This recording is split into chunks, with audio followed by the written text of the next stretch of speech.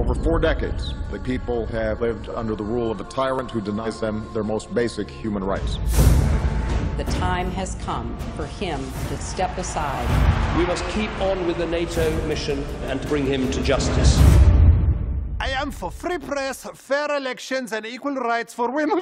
I can't say that. On your mark. Get set.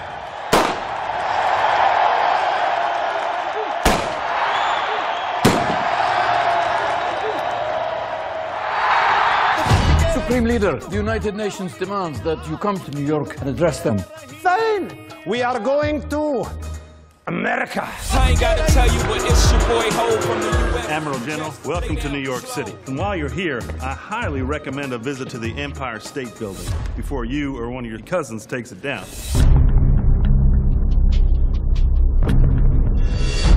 Rise and shine. Nobody's gonna recognize you. No, no, no, no. Without this. Is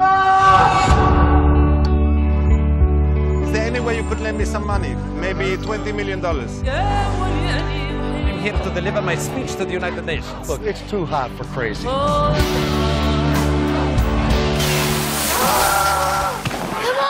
Come on me! Could you please take your hands off my breasts? Those are breasts? I thought you were a boy.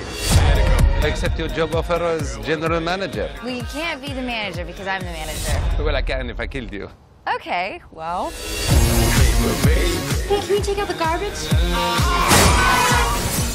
Stop that. Shut up, loser. Hey, Hairnet. Kind of need you to hurry up. Chop, chop.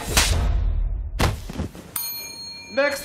Make money, make money. This chica right here gotta eat, baby is the plan. We're just two ordinary American tourists.